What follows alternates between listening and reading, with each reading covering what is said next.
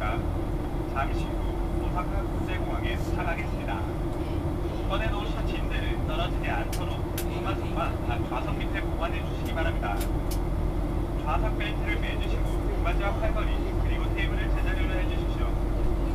창문 높게는 올려주시고 전자기기 비행기 탑승 모드 변경 및 와이파이를 포함한 우선 부시 기능은 차단해 주시기 바랍니다.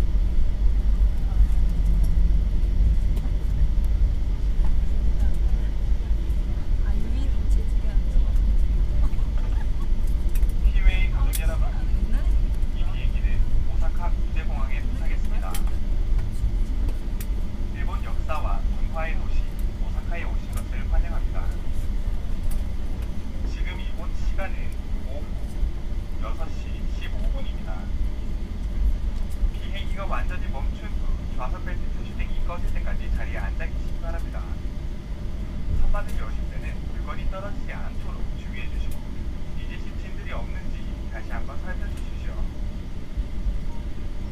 국내 저비용 항공사 서비스 고객 만족도 1위를 차지한 해주인 가족 여러분 언제나 한결같은 마음으로